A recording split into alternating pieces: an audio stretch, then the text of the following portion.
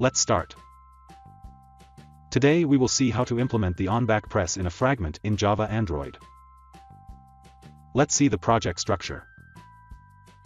Here we have the main activity and two fragments 1 and 2. And in the UI, we have the activity underscore main.xml file, which is the main activities layout. Two fragment layouts. Let's see the UI. In the activity underscore main.xml file, we have a constraint layout that we will use as a container to load the fragments. The ID of this layout is the container.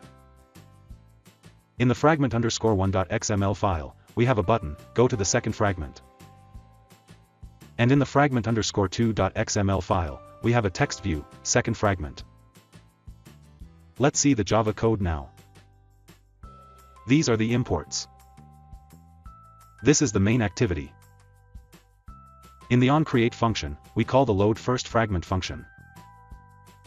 This is the load first fragment function where we load the first fragment into the fragment container.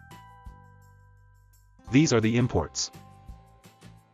This is the first fragment. In the onCreate function, when the button is clicked, we call the go to second fragment function. This is the go to second fragment function. This is how we go to the second fragment. Here we put the first fragment in the back stack. These are the imports. This is the second fragment.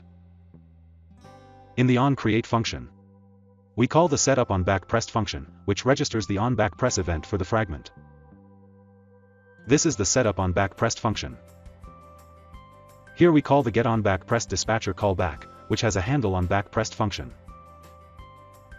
First, we check if the back pressed functionality is enabled or not, if enabled, we do our task, for example, here we have shown a toast, and then called the activity.onBackPressed function. And then we set the enabled value to false. Let's run the app.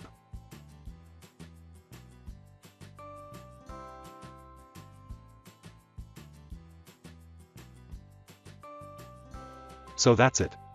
That's how you can implement the onBackPress function in a fragment in Java Android. Thank you.